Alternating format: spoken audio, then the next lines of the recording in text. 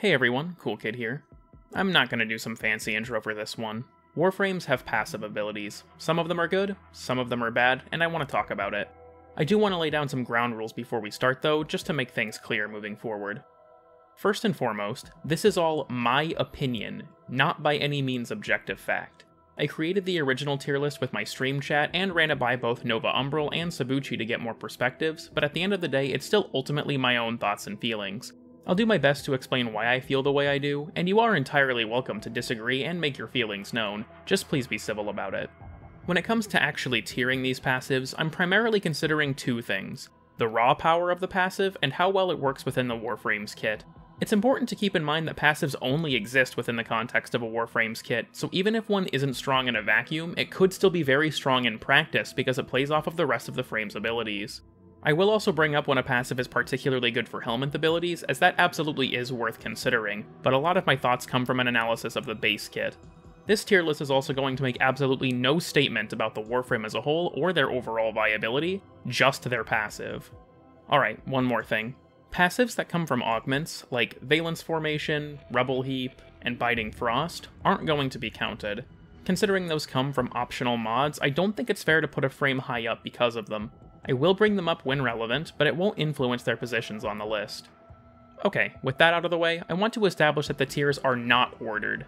For those who don't know what that means, on some tier lists, the individual tiers are to show not only a comparison of things between tiers, but they also compare things within the tier itself.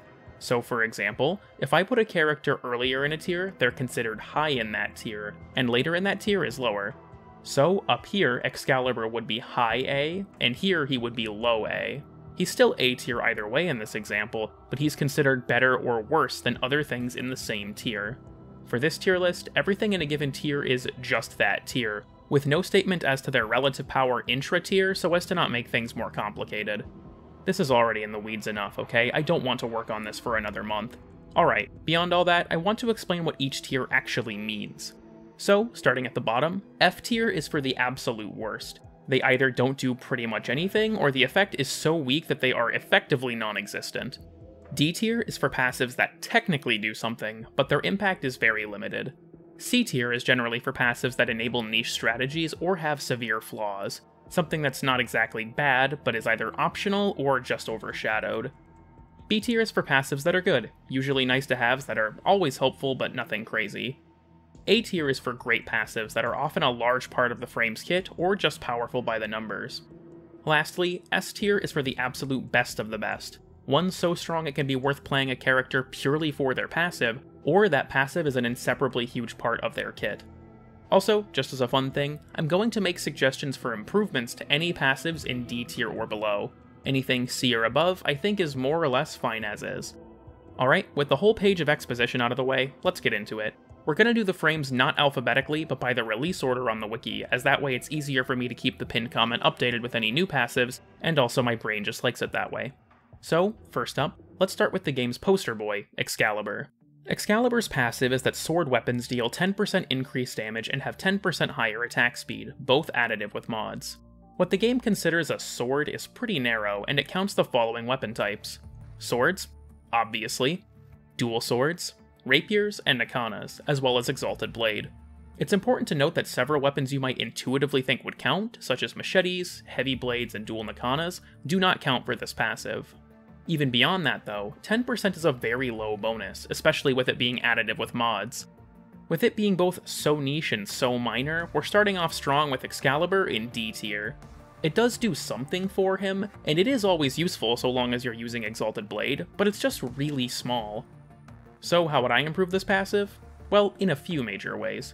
My first would be to make it apply to all melee weapons, not just swords. Excalibur is a great melee platform on account of things like Radial Blind and Furious Javelin, so limiting his passive to swords just feels arbitrary. Beyond that, the bonus should be increased to something more substantial, like 25% or more. My biggest suggestion for Excalibur, though, is to add a new effect to his passive. Melee hits gain 2% lifesteal. My reasoning for this is because Excalibur struggles considerably in Steel Path level content on account of his low survivability. You can solve this using a Helminth, using items like Healing Return or Arcane Reaper, or even just spamming Radial Blind, but it takes a lot of effort to keep him alive, which is a huge weakness. The 2% lifesteal with melee should help fix this crippling issue, along with promoting his already existing playstyle of being an aggressive, hard hitting melee character, while not being so powerful in the early game that it makes things too trivial. Most of my passive suggestions moving forward are just kind of out of pocket ideas I'm throwing out there for fun, but I feel very strongly about this one. Please, DE, give Excalibur lifesteal with melees, it would help him so much. Trinity. Trinity is able to revive allies 25% faster and from 50% farther away. And that's it. This is helpful if an ally goes down, sure, but it's entirely contingent on that actually happening, and if you're doing your job as a Trinity, it really shouldn't be. Considering you can give allies 75% damage reduction and restore all of their health and shields with one button press, this passive feels like a buff to your worst case scenario. This also does very little if you aren't in a team, though it does work on things like companions and rescue targets, which does give it some use in solo. So, unfortunately for Trinity, she gets to live in D tier with Excalibur. It's kind of a nice to have, but you really shouldn't be taking advantage of it if you're playing well, which as Trinity is really not that hard. As for a suggestion to improve this passive, it's honestly kind of tough to say, especially because Trinity's light rework is around the corner, but I'd personally keep it as is just to not mess with anyone who likes it. Beyond that, though, there's a lot that could be added on top of the existing effect that fits her support theme. Maybe she could double affinity range for allies to boost her force effect range, maybe enemies who attack her could have their damage reduced to assist with tanking, maybe she could even get some kind of buff whenever she heals or revives an ally. Nova Umbral also suggested that maybe she could grant her team a periodic death gate, kind of like Phoenix Renewal does on Oberon. I don't know, there's a lot of options that fit with Trinity because her concept and kit are just so simple. We'll have to see if they mess with the passive in 1999, but for now, she's down in the D tier. Ember. Ember's passive grants her a buff called Conflagration, giving her 5% more ability strength for every enemy with at least one active heat proc in a 50 meter radius. Considering that nearly all of Ember's abilities inflict heat, this passive allows her to get a lot of power strength for just using her kit. This enables a lot of interesting things, like allowing Ember to run lower power strength and letting her passive pick up the slack, or using the passive to really beef up Helminth abilities that need a lot of strength, like Roar or the Slow on Gloom. It is worth noting that, at low levels, this passive doesn't really function as enemies die too quickly, but at Steel Path level, Ember can easily get huge boosts to her strength for doing nothing special. Normally, this strength boost only really affects her Fireball and Inferno, but things like Fireball Frenzy and almost any Helminth make it really shine. I'm putting this one in A tier, a valuable tool that enables a lot of interesting and powerful strategies while also rewarding Ember for casting and using her abilities frequently. Mag. Mag's passive grants her a pickup vacuum, pulling in items within 8 meters of her. This sounds pretty good, and early on in the game it can be, but it suffers from one huge problem. If the mods, Vacuum, or Fetch are equipped on her companion, this passive is completely overridden. The effects of the mods and passive don't stack, Instead, the higher value takes priority, and as Vacuum and Fetch are both higher range than Mag's passive, it just gets turned off. You could argue that this can save you a mod slot on your companion, at least if you're okay with a sizable loss in vacuum range, but does anyone actually play like that? I mean, I imagine many of you are just now hearing about this passive not stacking, but now that you do, are you really gonna make configs on your companions that don't use Vacuum or Fetch specifically for Mag? Even beyond that, Vacuum is 11.5 meters, which is around 44% more range than this passive, and Fetch is 13.5 meters, which is around 69% more range. So basically, to make this passive function at all, you either have to reduce the range you could be getting from a very cheap companion mod, or just not bring a companion at all. Yeah, I'm putting this one as our very first F tier, it's completely turned off by some of the most common and useful mods in the entire game, and if you opt to not take those mods, you're putting yourself at a sizable disadvantage via the reduced range. My suggestion to improve this passive? Well, we could make it so that the range does stack, which would be a pretty easy fix. I know it's lazy and not all that creative, but I do still think it would help her out. We could also give the base range of the passive something higher than those two mods, just to make it so that she can actually utilize it and save the companion mod slot more viably. Loki. Loki's passive grants him a 10 times longer wall latch duration, making it go from 10 seconds to 60 seconds. Now, honestly ask yourself, have you ever been in a scenario where you've needed to wall latch for an entire minute? The only time I've ever found this passive useful was avoiding Jackal's grid wall attack, and there are so many other ways to cheese that fight that it's hardly a legitimate use. Typically, the only reason you'll be wall latching is to either trigger Arcane Arachne or on accident or to do a wall attack, baby. Let's go wall attacks. Regardless of that though, Warframe is a fast paced game that encourages you to move around a lot, and wall latching really doesn't gel well with that gameplay. I don't think the mechanic should be removed or anything, it does have some niche uses, but having a passive built around it doesn't really make much sense, especially when it comes to just making it longer. Nothing in Loki's kit benefits from it, the game discourages being stationary, and there's no real incentive to wall latch for that long to begin with. So, just like Mag, this one's going in F tier. You, uh, you might notice a trend here. Lots of older Warframe passives aren't that great unless they've been reworked. So, how would I improve this one? I'll admit I don't play Loki a ton, but I do have a suggestion. If an enemy is under the effect of one of Loki's abilities, like being drawn to a decoy or disarmed, they should take bonus damage, maybe something like 25 to 50%, and this bonus would be multiplicative. Basically, think Vauban's passive, which we'll get to in a bit, but for enemies under Loki's effects. This would also work if they were tricked by other sources such as radiation or chaos, or disarmed from things like hounds or Halikar, and it'd grant Loki a helpful boost in damage while keeping his kit's fundamental goals the same. Volt. Volt's passive is the static buff, where he gains 10 damage to a static charge for every meter he travels. This buff stacks to 1000 damage, which is unleashed on his next attack as pure electric damage, and this goes for weapons and abilities. That sounds decent, and it definitely is in the early game, but it has several drawbacks that become more apparent later in the player's progression. For one, this damage bonus is flat, meaning it isn't affected by things like base damage or elemental mods. It also only affects one hit, so even if you have multi-shot, only one bullet will actually deal the bonus damage. It is affected by critical hits and the shot combo mechanic from sniper rifles, and it doesn't combine into other elements, both of which are nice, but as you get high in level, it isn't really that impactful. I have heard that there are some niche strategies that can make this passive work in higher end content, but for the vast majority of people, it won't be worth considering past the first few planets.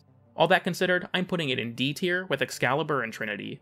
It does technically do something for Volt, and that something is valuable early on, but as you progress, that 1000 damage will just mean less and less. How would I improve this passive? I'd just let it scale with damage and elemental mods, or maybe make it apply to all hits if the attack has multi-shot. I think this would keep it much more relevant and make building up big static damage a more important part of Volt's gameplay loop in the late game. Rhino. Whenever landing from a height that would incur a hard landing, Rhino emits a 6 meter shockwave that deals 300 impact damage and knocks down enemies.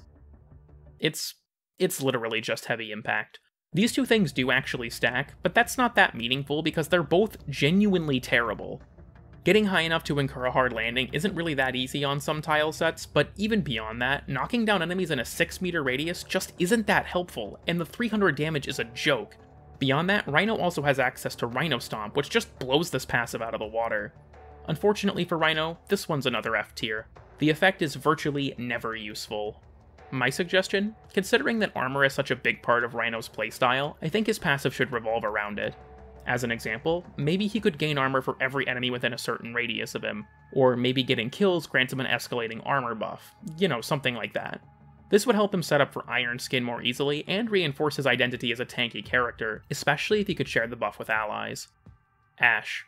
Ash's passive makes it so any slash status effects he inflicts deal 25% more damage and last 50% longer.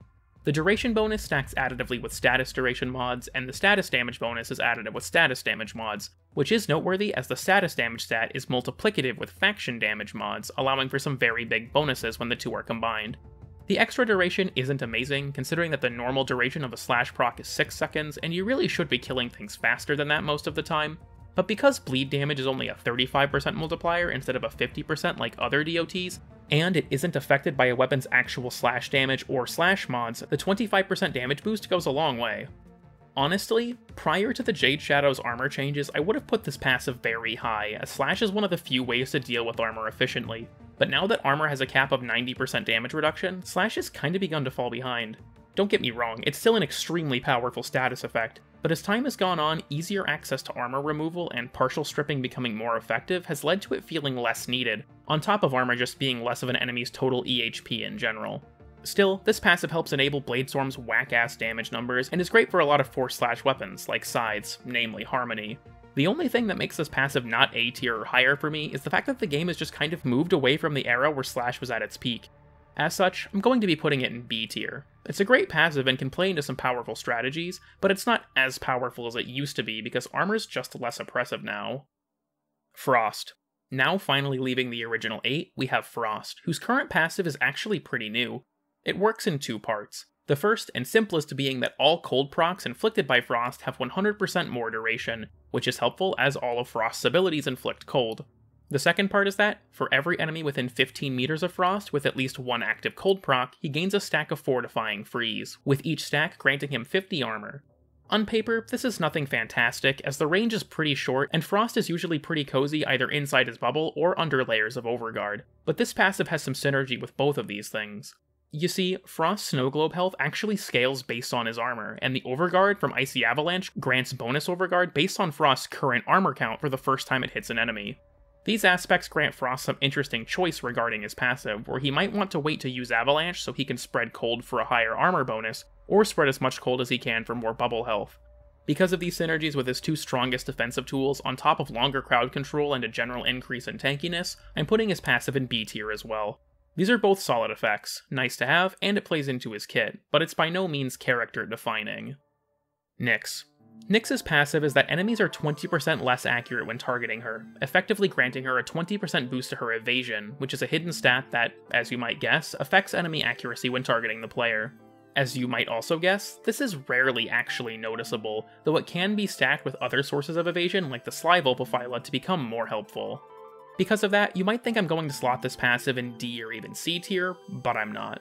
You see, the problem for this passive is actually Nyx's other abilities, which makes it not helpful much of the time. To explain what I mean, whenever Nyx casts Chaos, enemies under the effect are given a maxed out threat level. What's a threat level? Well, when it comes to enemies attacking things in Warframe, they'll prioritize targets with the highest threat level as best they can. Because of this, if Nyx is using Chaos, enemies will almost always prioritize targeting each other over her, so the reduced accuracy isn't really needed. I say almost always because, barring some exceptions with Nyx being closer than any other targets and whatnot, using Absorb actually gives Nyx herself a maxed out threat level, so enemies will prioritize shooting at her. These two things make the passive pretty much worthless, and if you're using Assimilate so you can become a walking tank, then it is genuinely entirely worthless. As such, I'm putting it in F tier on account of it being all but neutered by Nyx just using her abilities. Maybe you could put this in D, but I don't personally think it's even that good. How would I improve it? Well, I think we should keep it for those who like the evasion shenanigans, but I also want to play into Nyx's psychic theme more. My idea is that, if Nyx is aiming down her sights, she's able to see enemies through walls with a highlight, kind of like the Amalgam Argonak mod. On top of that, she'll be able to read their mind, which shows their future movements. She could also maybe see weak points on enemies that only she can take advantage of due to her psychic powers. Or she could just do this. Blows up mind with mind. My fucking Mind. I don't know. Hopefully DE gives her something better than I can with her light rework in 1999, but for the time being, she's an F tier hell. Banshee. Banshee's passive silences all weapons she has equipped, as well as any weapons her companion is using. This enables some interesting and even normally impossible combinations, like silencing gunblades or explosives.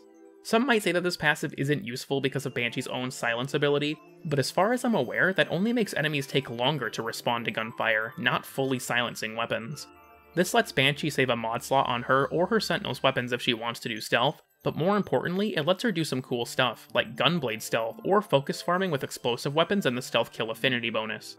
Simple, but interesting, and relatively effective, though I will concede it doesn't really have a ton of synergy with the rest of her kit. It's also not really that effective in game modes where conventional stealth isn't an option, like survival or defense. As such, it's going in C tier. It enables some niche strategies and is nice to have, but it can be ignored if you don't want to play into it. Saryn. Saryn's passive grants her 25% more status duration on all status effects she inflicts. This sounds alright at a glance, but it kinda falls flat when you consider how little it really helps Saryn. You see, Saryn is a character that does a very good job at killing lots of enemies. This is relevant because most status effects have a duration of 6 seconds, and Saryn really should be killing enemies faster than that a lot of the time. Some status effects buck that trend, like Corrosive being 8 seconds and Radiation being 12, but that doesn't mean much to Saryn. She does inflict corrosive with her spores, but they apply corrosive so frequently that the extra duration doesn't really matter, as the spores can typically replace the old corrosive stacks faster than they decay. I feel that status duration in general is a stat that's mostly useful in a few specific contexts, like prolonging crowd control from cold and radiation, as well as making gas clouds linger longer. Saryn doesn't really have access to any of those status effects, and the ones she does have access to are either self-sustaining or should be killing things before 6 seconds passes. All that considered, I'm putting her in D tier. technically does something, but just isn't that useful for Saryn herself. How would I improve it? Personally, I'd make it so anytime she applies a status effect, she has a random chance to apply another stack of that status effect. So, say maybe she inflicts a toxin status, and then there's like a 25% chance it'll be duplicated and another identical toxin status will be added. It would also be cool if she had a passive where if she inflicts two different primary status effects, they'll combine and trigger a stack of their combo status. These both might honestly be overpowered, or equally worthless, and Saryn is still very good in spite of her weak passive, but I think these concepts would at the very least work into her playstyle better. Vauban. Vauban's passive grants him 25% more damage to any enemy who is incapacitated by his abilities. To make it clear what this actually means, any enemy who is either latched by his Tesla Nervos, pulled by his Tether Coil, suspended by Bastille, or being pulled by Vortex receives the 25% damage increase. Now, this isn't amazing on paper, but this passive is actually very strong because of a little math quirk. It's a multiplicative damage boost that multiplies with other multiplicative damage sources.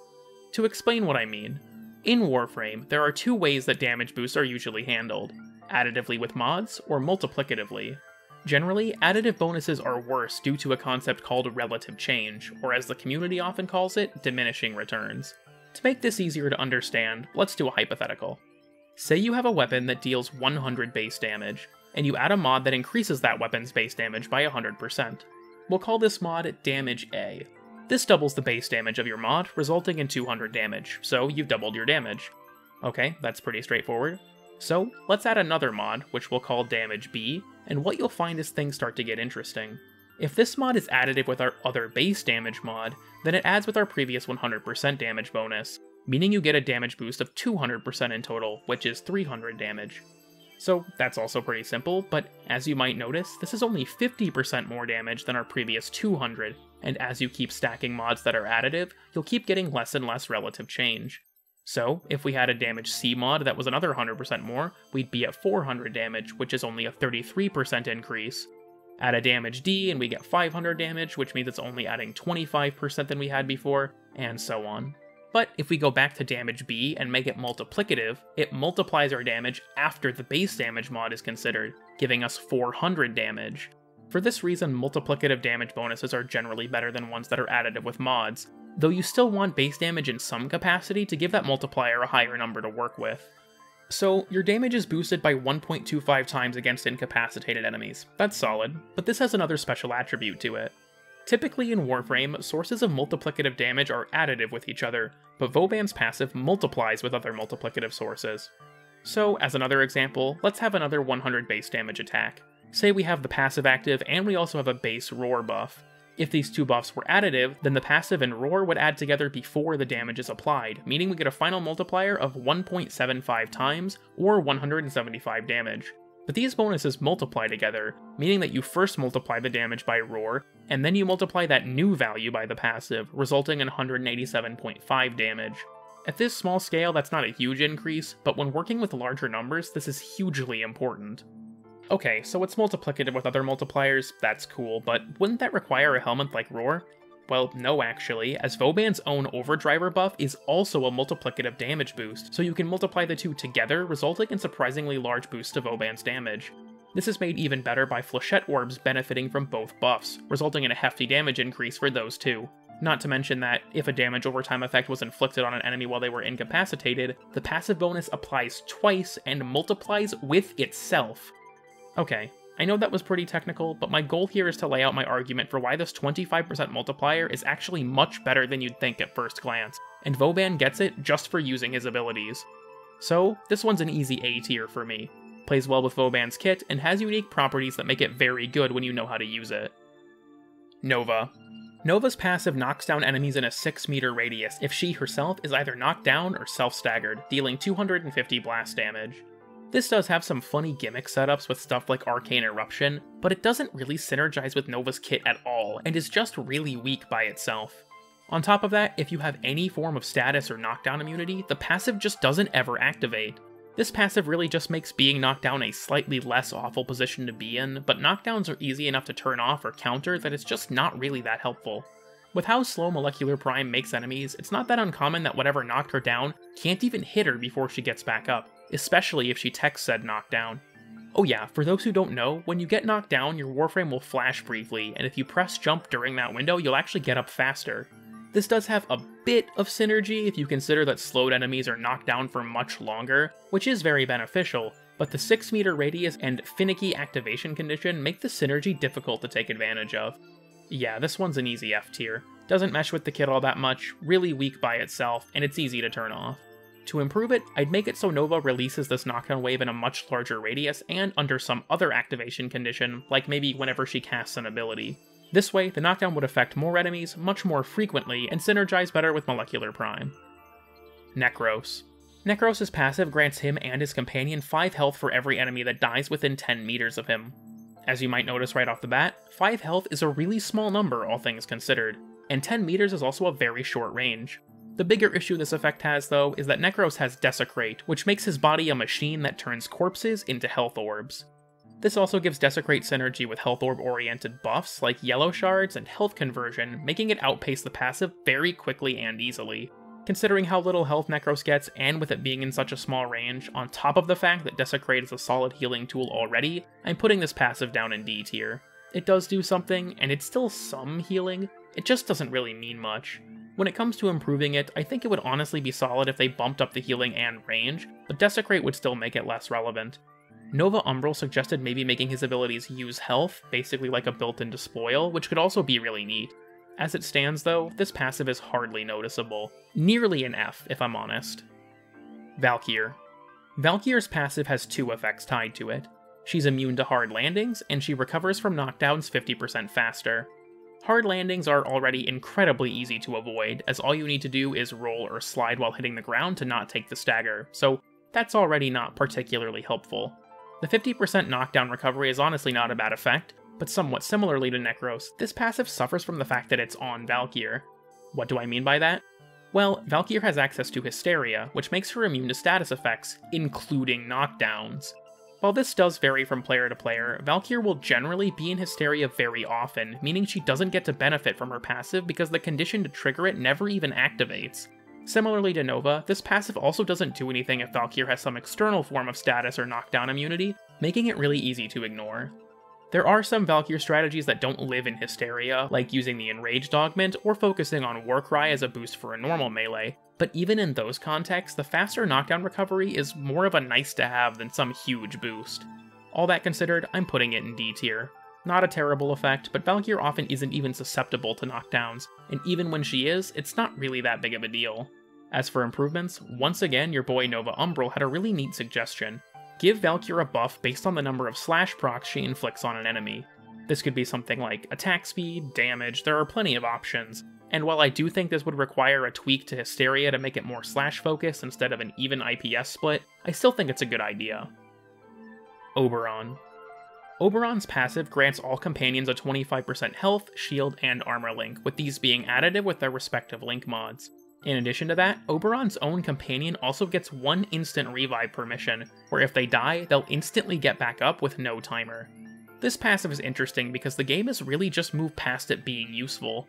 Back before Abyss of Dagath, when pets being dead meant they were out for the whole mission, it was nice to give them a free second chance, but now that they'll revive themselves autonomously, it just isn't nearly as helpful. Add to that that several bond mods make companion recovery faster in addition to other useful effects, and it's just hardly noticeable. The small link boost is nice, but it's not really enough to make a measurable impact in most cases. Oberon also doesn't really have a kit geared towards companion synergy, the only real exception being Renewal, which heals them, and has Iron Renewal, which applies bonus armor, as well as his Weed Carpet making them status immune, I guess, implying they decide to actually stand on it. Considering the fact that companions will increase the energy drain on Oberon's 3, though, you can genuinely argue that they might actually be a detriment in some cases. So, as much as I do love Goat Bro, he's going into D tier. The buff does do something for him, it's just not that valuable, especially after all the companion overhauls. How would I improve it? Well, considering that Oberon is a paladin type character, I think it would be cool if he got a stacking damage buff every time he buffed an ally, either by healing them or making them status immune or what have you, up to a cap.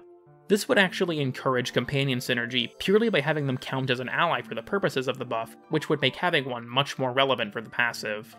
This would also help bolster the somewhat neglected damage portion of Oberon's support slash damage hybrid theme. Zephyr. Like Valkyr, Zephyr's passive also works in two parts.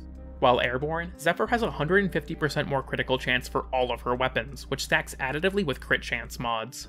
In addition to that, she also has very different airborne physics, which make her descend slower and have greater air control. As far as I know, it's actually just the sortie low gravity effect. Now, I want to get out of the way that I don't really like the altered air physics. They mess with my muscle memory and just feel kinda weird, but fortunately you can disable only that aspect of the passive with the Anchored Glide mod if you want to. The real star of the show, though, is that 150% increase in critical chance. This boost makes Zephyr's weapons much more powerful in exchange for doing virtually nothing differently, as Zephyr already wants to be airborne to better place her crowd control and such anyways. With her one suspending her in air and her lower gravity just making her linger in the air for longer, it's really easy to take advantage of this buff. This gels very well with Zephyr's most busted ability, Tornadoes, as critical hits are taken into account when boosting their damage. On top of that, crits that hit tornadoes have their critical damage multiplied by two times, and this is considered after critical damage mods. This lets her get way more damage on her tornadoes very easily, and also makes her very good at raining down high damage from above. All that said, this is our first S tier. Very good passive with a super easy activation condition that works well with her kit. Zephyr is honestly really broken, I'm very shocked I don't see her more. Hydroid.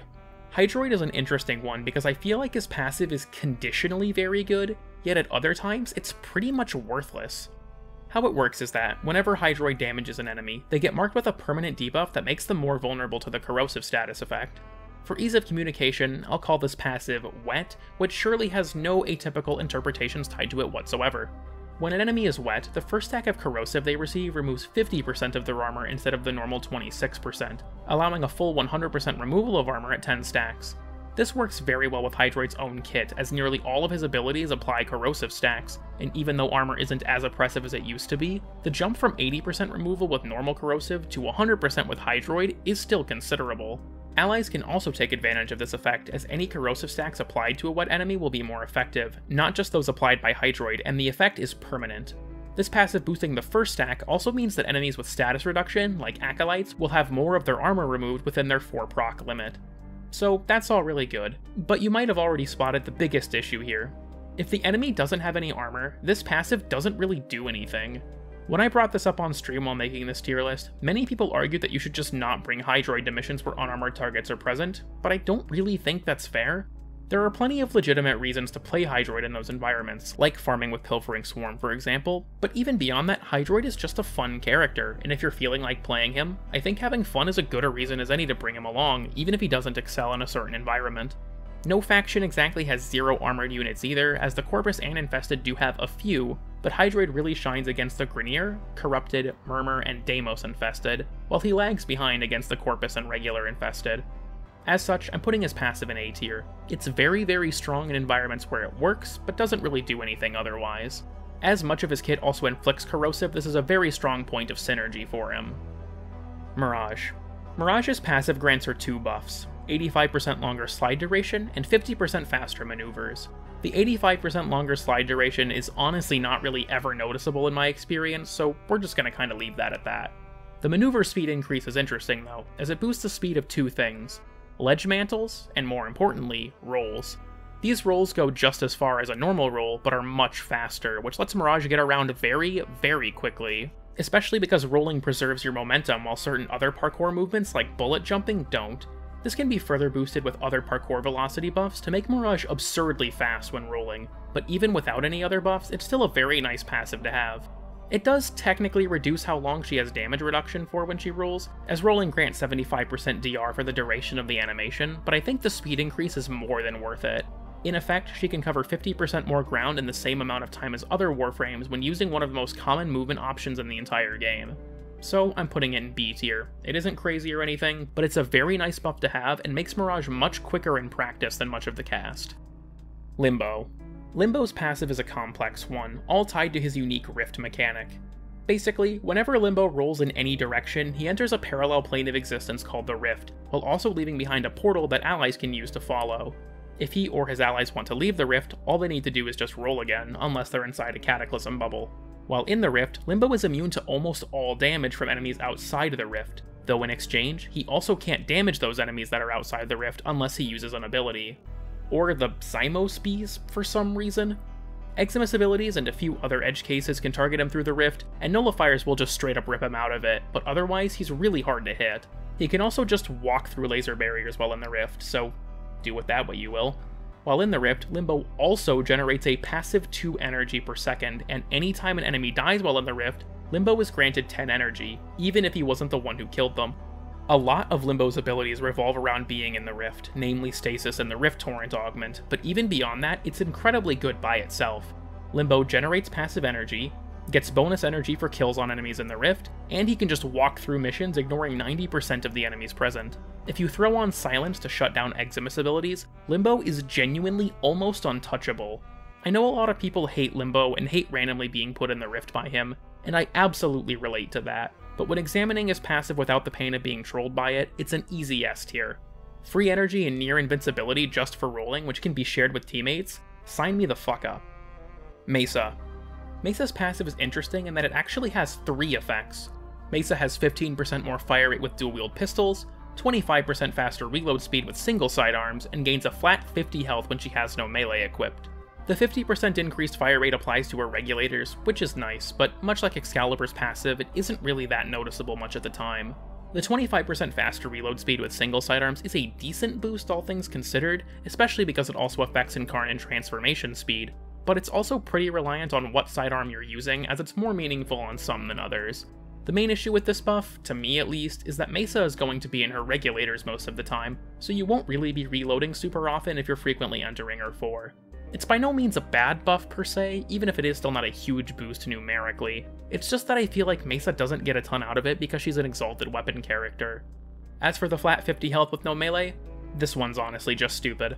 When I say flat, I mean it doesn't scale with mods like Vitality or anything, it's just 50 HP added on top of what Mesa already has. Giving up something as valuable as your melee weapon for such a small buff is just asinine, especially when you consider that Mark of the Beast works on regulators, so using your glaive from time to time to power them up is a really useful tactic that this passive just locks you out of in exchange for a really underwhelming bonus. So, much like Excalibur, it's going down in D tier. It does do something, but not that much, and its best effect varies in usefulness depending on how you're playing Mesa. How would I improve it? Personally, I just boost all the numbers, make it 50% more fire rate and reload speed, and make it apply to all secondaries instead of having any split between single or dual wield. As for the melee element, I'd just remove it. It's not helpful, and I don't think any HP bonus would offset the cost of losing your melee. I also do want to bring up Nova Umbral's idea, which was to grant Mesa some kind of critical chance and or damage buff considering she utilizes crits so heavily. This could be entirely passive, or maybe could even have an activation condition, like stacking when she shoots an enemy or something like that. Chroma. For Chroma, I want to make it clear I'm not counting his ability to pick his element with his emissive color. That used to be his sole passive, yes, but now that he can swap in mission with his 1, I don't really think it's sensible to count it. Considering the fact that he can just swap elements in mission now, it's only really relevant if you're using a helmet over Spectral Scream. So what's left then? Well, Chroma gets access to either a second bullet jump or double jump, which sprouts his wings for a really cool visual effect. Beyond that cool visual though, I don't really find this passive to be all that helpful. It certainly can be useful, especially if used in conjunction with parkour velocity shards or infested mobility, but by itself it isn't really anything to write home about. The wings are cool as fuck though, I'd love to have this as an auxiliary or an ephemera of some kind. The passive also doesn't really mesh with any of Chroma's kit, as he doesn't exactly have any ability that benefits from the additional jump. It's definitely more of a thematic passive than a functional one. It fits Chroma's theme as a dragon more than it fits into how his kit actually functions. Even so, it does enable some niche but fun speed strategies, especially if used in conjunction with parkour velocity boosts, so I'm putting it in C tier. I originally had this one in D tier, but I feel like in comparison to all the other D tiers, you can actually get something out of it with a bit of work, so I decided to bump it up. Alright, short and sweet. Next up, Equinox.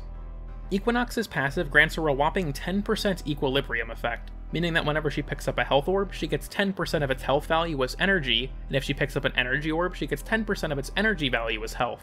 Not only is this bonus really low, often equating to 5 or 10 energy or health at most, but unlike almost every other effect that consumes orbs, Equinox's passive can't pick up an orb if she's already full on that resource. So, if she's full on health but not energy, she can't pick up health orbs to gain energy, which can be done with things like Equilibrium or Violet Shards. If I'm honest though, this might actually be to her benefit, as the bonus is so low that it's honestly a waste of potential health or energy she could have gotten in the future if she was able to pick them up like with Equilibrium.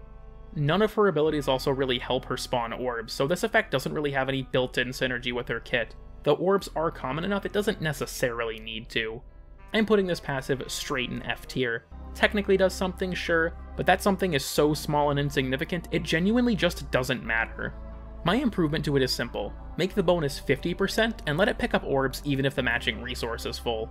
This would be really helpful for managing Equinox's rough energy economy, which would make the passive do something more for her kit, while also making the effect actually noticeable. Equinox has it rough, man. I really hope DE gives this frame some help. Atlas. Atlas is another character with multiple passives, though this time he has a simple one and a complicated one, so we'll start with the simple one. This passive is called Immovable, which makes Atlas immune to knockdown and self-stagger effects so long as he's touching the ground. This allows him to take advantage of AoE weapons and the like without staggering himself, and is also just a huge quality of life increase. This does have its drawbacks though, namely that Atlas can still be knocked down while in the air, and as bullet jumping is a very common movement tactic, it can lead to him getting jump scared by a laser barrier or something and falling over. This is especially noteworthy when you consider that Atlas has a pretty low sprint speed, so he relies on things like bullet jumps more than most. Atlas's landslide ability also makes him immune to knockdowns anyway, so if you're playing around it, then you won't have many opportunities for enemies to knock you down outside of that state regardless. Okay, that's the easy one. Now on to the complicated one, Rubble. Rubble is a pickup unique to Atlas that drops from enemies who die while petrified, either by Atlas's own abilities or the Gorgon's metamorphic magazine augment. Rumblers also drop Rubble on death, though the lower their health was at the time of their death, the lower the bonus the Rubble grants. These Rubble drops grant Atlas 50 health, or if his health is full, 50 armor that goes into this armor gauge. If the enemy died to landslide specifically while petrified, it goes up to 75 health or armor, with the armor gauge stacking all the way up to 1500 armor in total. Armor decays at a rate of 5 per second from the gauge, doubled to 10 per second if in a nullifier bubble, but picking up Rubble pauses this decay for 2 seconds so long as that pickup restored armor. I want to make it clear that if Atlas is missing any health, then Rubble pickups will heal him, and overhealing will not go into the armor pool, so the decay timer will not stop. This often creates really annoying scenarios where you just keep getting chipped and losing a little bit of health, which makes your Rubble pickups grant HP instead of armor, ultimately leading to your armor bonus going away. On the bright side, it doesn't go away if you fall off the map, and Rubble drops can be pulled in by Vacuum and Fetch, but I do think the lack of any decay rate pause when the Rubble restores health is a huge pain regardless. It also takes quite a bit of effort to build up that 1500 armor, so environments where Atlas isn't able to get a lot of kills, he can't really take that much advantage of it. 1500 armor is a 5 times effective health multiplier, which helps make Atlas quite a bit tankier, but funnily enough, you don't really want to be taking health damage because then your armor decay won't pause. In a weird sort of paradox, you're given all this armor that you don't want to actually take advantage of because then you'll start to lose that armor. Now, if we're counting augments, Rubble Heap makes this passive excellent, but as I'm not going to be considering them, this passive's going to go into B tier. It's a solid effect, so much so that I honestly think it's almost A, but the sort of paradoxical nature of the armor buff just kind of makes it a headache, which keeps me from putting it any higher. Wukong. Wukong is weird because he doesn't really have a passive ability necessarily, instead getting one of 5 random buffs whenever he dies. Basically, if Wukong takes fatal damage, he becomes invincible and restores 50% of his health, and then one of 5 buffs is chosen at random. The buffs Wukong can get are as follows. Cosmic Armor, where Wukong is invincible for 30 seconds, Primal Forces, which grants Wukong 300% more elemental damage for 60 seconds, Heavenly Cloak, which makes Wukong invisible for 30 seconds, and this isn't dispelled by attacks, Sly Alchemy, which makes orb pickups 4 times more effective for 60 seconds, and finally, Monkey Luck, which makes enemies drop extra loot for 60 seconds. Monkey Luck does not stack with other loot on death abilities like Pilfering Swarm, Strangledome, or another Wukong's Monkey Luck, but it can stack with other sources of additional loot like Ivara's Stealing, Nekros and Chesa's Corpse Looting, and Atlas's Orgaze. These buffs can be triggered up to three times per mission, with the three buffs being pre-selected at the start and then one being chosen at random from that pool. This passive does have its value, namely that it skips bleed out entirely, which makes it very good for arbitrations, as that mode screws over self-revives that enter the bleed out state. Regardless of that though, I really, really don't like passives that are entirely contingent on the player dying.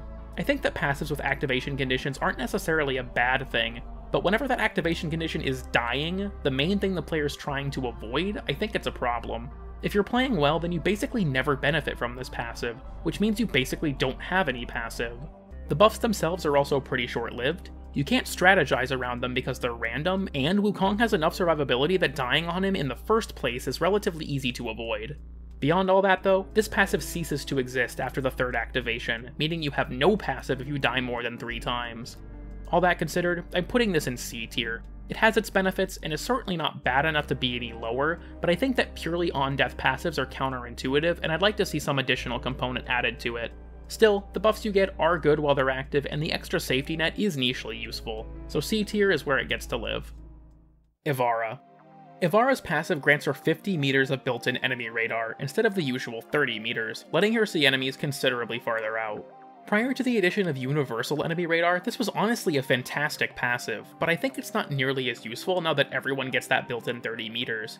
It does play well into Ivara's theme and kit, allowing her to pre-plan her stealth with more information and find far-out targets for navigator shots, even if she can't see them.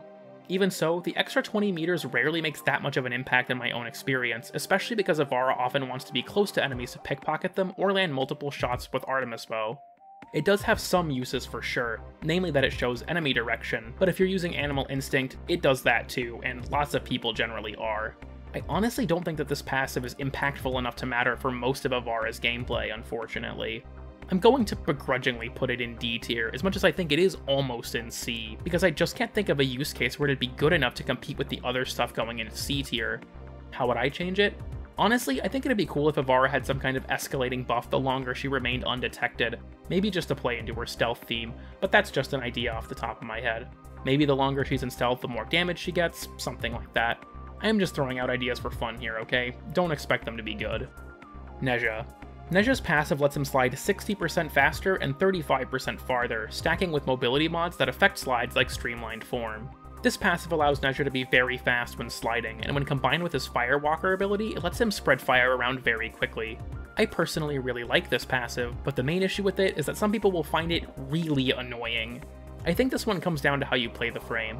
When I play Nezha, it's partially for the slide passive, but some people don't like it and either tolerate it so they can access the rest of his kit, or they just use controlled slide to turn it off entirely. I feel that it probably belongs in C tier, on the grounds that it can be used to enable certain strategies, but is admittedly somewhat preference based. I think this one has a genuine shot at B tier or even higher, but that entirely depends on who's playing Nezha and how they use his kit. This one's not too complicated, so let's move on to Inaros. Inaros is another character with two passive components, so I'll go over the easy one first. Whenever Inaros kills an enemy with a melee finisher or a mercy kill, he restores 20% of his max health. This is a decent passive, especially because Inaros has several abilities that open enemies up to finishers, but if the attack itself doesn't kill or the enemy dies to something else during the finisher animation, it doesn't really do much. More importantly though, is can heal very easily with Sandstorm already, and it's not hard to get energy for that ability by using Rage, so while this passive is by no means unwelcome, it also isn't crazy useful or anything. The other component of this passive is, like Wukong, an on-death effect. Whenever Inaros dies, he enters his sarcophagus and becomes a sand shadow. This shadow has to hit enemies with melee attacks, which uses a special fist type weapon to revive Inaros. Fortunately, this doesn't require kills, just hits, and sand kitties from Scarab Swarm will also contribute to the revive meter. This isn't terrible by any means, especially because it's able to actually revive Inaros pretty quickly, but I still just don't like on-death passives. This is especially so for Inaros, who has enough armor and health that he's quite difficult to kill in most content anyways, meaning that, again, if you're playing well, you won't be seeing this passive much at all. His lack of shield gate does make it more relevant than something like Wukong's passive, but he's still tanky enough to not be insta-killed in most environments. Fortunately, unlike Wukong, Inaros has a functional passive component outside of his self-revive, but it's honestly not super useful in my opinion because he can already heal so easily. Unfortunately, unlike Wukong, this passive straight up doesn't work in arbitrations. Inaros will just die. As such, I'm gonna put this in C tier. It has a worse on death effect than Wukong, but I do think that the finisher heal helps bolster finisher focused builds. It does play well with Inaros' kit from the finisher angle, but his easy access to healing just kinda makes it less valuable in my view. Titania. Titania's passive grants her the Upsurge buff, which triggers when she casts any ability and grants her 4 health regen per second for 20 seconds. This effect also applies to allies within 15 meters of her, and whenever an ability is cast while the buff is active, it resets back to its full 20 second duration. Titania also possesses 25% further bullet jumps and rolls, which is nice. So, to break down my feelings about this passive, I want to start with that increased roll distance. It's definitely helpful, but my issue with it is that Titania is often going to be in her Razor Wing, which doesn't really need the increased parkour distance. Beyond that though, the 4 HP per second from Upsurge is just really weak. That's a total of 80 health over 20 seconds, and because the timer resets to the start whenever you cast an ability while it's active, you essentially waste any remaining time that would have healed you. To Upsurge's benefit though, it doesn't need to be a crazy high heal because Titania gets high evasion from both Razor Wing and Dust, and she gets a 50% damage reduction from Thorns, so she isn't taking damage all that often. Because of that, when she actually does take damage, it's usually not a crazy amount, and the time between damage instances is so long that she normally doesn't need to worry too much about it. Even so, items like Magus Elevate and Repair make recovering from small amounts of damage so quick and easy that they often overshadow the passive quite a bit, and Titania is still evasive enough, she often isn't taking any damage past what might graze her shields. As such, this one's going in C tier. It's a helpful buff, especially because it's shared with allies, but it's also a really small heal spread out over a pretty long time. The bullet jump and roll distance is fun and enables some niche strategies with parkour boosts, much like Chroma's passive, so I gotta give her points for that, even if it makes little impact while she's in Razor Wing. I feel like this kind of toes the D tier line if I'm honest, but I don't think it's quite that bad. Though I would like to see the health regen buff to like 10 per second or something. Okay, I just want to let you all know that we're at the halfway point for this video, and the reason I'm bringing that up is because I'm actually recording this on a different day than the first half of this video, because after like an hour and a half of talking, my voice got too tired, so I'm probably going to sound a bit different, my apologies for that. Quality control with this microphone is a huge pain in the ass. Anyways, let's move on to Nidus. Nidus is another character with a very multifaceted passive, so we'll go over it from simple to complicated like we have before. So for the simple stuff, because Nidus doesn't have any shields to gain on rank up bonuses, he instead gains a passive 15 health regen per second and 15% power strength at rank 30. Inaros has these to compensate for his lack of shields too, but they're only health and energy maximum, which aren't as impactful in my opinion. So, Nidus has a heal that's better than Titania's passive just for being at rank 30, even if it is only for himself. So, the more complicated component of this passive is Nidus's mutation stacks, which he gains every time an ability of Nidus's hits an enemy. This counts primarily the number of hits from his first ability, though maggots from Ravenous exploding also contribute to the gauge, and enemies who die while held by larvae have a 50% chance to add to it as well. Each time 5 contributions are made to the gauge, it goes up one level, stopping at level 100 normally, or 300 with the Abundant Mutation augment. I know, I know, we aren't counting augments, I'm just bringing it up to be thorough. So, what's the benefit of having mutation stacks? Well, for starters, Nidus's third and fourth abilities consume them instead of energy, which is more of a footnote than anything, honestly, I kinda feel like that's cheating. A big thing for him, though, is that Maggot Explosions and Virulence both gain increased damage, which helps bolster his gameplay loop of grouping up enemies with his 2 and then killing them with his 1. In a funny way, he actually reminds me a lot of playing Plague Inc. You chip away at enemies until you've built up the mutation stacks to actually reliably kill them. This passive has one more important component though. If Nidus takes fatal damage, he consumes 15 mutation stacks to save himself via an effect called Undying. This makes Nidus invincible for 5 seconds and restores 50% of his maximum health. The reason I think this passive component is much better than other death passives, aside from the fact that he has a passive outside of it, is twofold. For starters, it skips bleed out entirely, meaning that Nidus has no downtime and stays in the fight uninterrupted, which allows it to be used in arbitrations. The other reason I like it is because it's relatively easy to build up and isn't lost if it's used too many times like Wukong's is. Sure, you do have to get those 15 mutation stacks back, but if you lose them by triggering the passive, it isn't terribly difficult. On top of that, if you're at full mutation stacks, you can trigger this passive 6 consecutive times before you actually die, and if you manage to gain 5 more mutation stacks during those deaths, you can die 7 times. Considering that Nidus has no shield gate on account of being a health only frame, this is an incredibly valuable passive for him to have, as while he is pretty tanky, he's nowhere near Inaros' level, which makes having some form of a death gate more useful for him. Now, there is one major drawback to this passive. It takes a lot of effort to build all the way up. So in missions that aren't endless, it's not going to be nearly as effective, and triggering Undying carries a much heavier price. I know I said it's not that hard to get back earlier, and I do think that's completely true, specifically if you're in an endless environment. For things like Exterminate, Mobile Defense, anything like that, you're going to be a lot more starved for your mutation stacks. All that considered, I'm slotting this one in A tier. Passive HP regen and power strength, a huge boost in damage to his maggots and virulence, and the ability to die with virtually no downtime. This passive drives Nidus' kit and is exceptionally good for him specifically, and that strong synergy combined with its sizable raw power makes it very high up there for me. This one is almost S, but the effort it takes to build up in many game modes is what keeps it from going quite that high, and it can be very punishing if you trigger Undying multiple times in a very short window. Octavia. I'm gonna be honest, I think this passive is overrated as hell, but I'll make the case for it regardless. I do want to clarify upfront, I'm not going to be considering the Manticore to be Octavia's passive. It's a fun mechanic, sure, but I feel like how you set up your song is more of a preference than anything. That's why mine is just the Among Us strip theme. Instead, I'm going to focus on Inspiration, which is a buff that's very similar to Titania's Upsurge. Whenever Octavia casts an ability, she grants nearby allies the Inspiration buff, which grants them 1 energy per second for 30 seconds. Just like Upsurge, if an ability is cast while Inspiration is active, it will reset that duration back to 30 seconds, effectively wasting energy you would have earned if you let the buff play out. Considering how easy it is to get energy these days, I feel like 1 per second for a total of 30 over 30 seconds just isn't really that good, especially because you can partially waste it by casting things before the timer ends.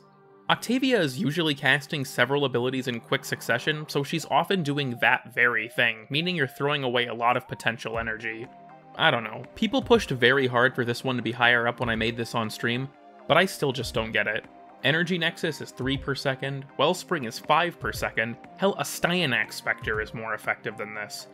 Even so, I do still think that the energy buff is more useful than Titania's Upsurge buff, so despite finding this passive mid as hell, I'm putting it in B tier. This one toes the line between B and C for me, but I think it's just barely not mediocre enough to be C, especially because it's shared with teammates who may need the buff more than you do. Even so, I think it's almost down there. It depends on the day.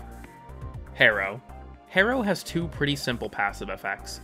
He starts the mission with full energy, and his overshield capacity is doubled up to 2400 overshields. The built-in preparation is more of a convenience thing than anything, especially because Harrow can generate energy so easily, but it's definitely very nice to have. Kind of in the same vein, the doubled overshield capacity is nice both for survivability and fueling the duration of penance. I think that both of these buffs are solid in their own right and work well with Harrow's kit, but I don't find either of them to be insanely helpful. Harrow's easy energy generation makes the preparation only really matter for about 10 seconds, and the overshield capacity, while nice, does melt pretty fast at higher level. Because Harrow can restore his shield so easily with Condemn, and he has very few energy concerns because of Thurible, he doesn't need the overshields to be so high because he can just get them back with very little effort. Even so, it plays well within Harrow's kit, and both buffs are absolutely good, so I'm putting it in B tier. Buffs are solid, but nothing crazy in my opinion. Again, if this list was ordered, it would probably be around high B, and I think it makes a solid argument for A, but I just don't think it's quite that good. Gara. Gara's passive grants her a 15% chance whenever she casts an ability to blind enemies within 12 meters for 10 seconds. Each time the blind doesn't trigger though, the chance of this happening goes up by 20% until it finally does trigger, where it then falls back down to the base of 15%. Blinded enemies are open to finishers much like Radial Blind, and interestingly enough, this works through both Nullifier Bubbles and Overguard. This passive is pretty solid all things considered, adding an extra layer of survivability to Gara by preventing enemies from attacking her. Does she really need it that much? That's debatable considering she has Splinter Storm and Mass Vitrify, but it's definitely not unhelpful, especially with it working through things that normally block CC. In my view, the biggest drawback of this passive is that it's somewhat random. Sure, you do have some bad luck protection with the chance increasing each time you cast an ability, but you can't really strategize around it so much as just spam abilities in hopes that it triggers. Gara also doesn't really have anything in her kit that encourages the use of finishers, so it's another example of a passive that's more thematic than functional, though its actual effect is still very useful. On account of its randomness and lack of kit relevance, I'm putting it in B tier. Helpful effect, absolutely. It's basically a free radial blind every now and again. It's just a bit inconsistent and doesn't really play into Gara's kit all that much. Khora. Khora's passive revolves around her exalted cat Venari, who is a pretty complex little demon. As long as Venari is alive, she grants Khora a 15% speed boost, and if she dies, she respawns after 45 seconds, though she can be brought back instantly if Khora uses her third ability in exchange for an energy cost. Weirdly enough, this speed boost passive is actually affected by power strength, and considering that it's pretty common to use low strength on Khora because of accumulating Whip Claw, this part of Venari is pretty much non-existent. I'm not going to be covering Venari's different stances in depth, as those are tied to Khora's third ability, and I consider them the function of that ability, except for attack form, which Venari is in by default. If I'm honest, the healing form is probably the best of them in my opinion. The defensive form just sucks, and the attack form, while not super strong, is still pretty good single target crowd control.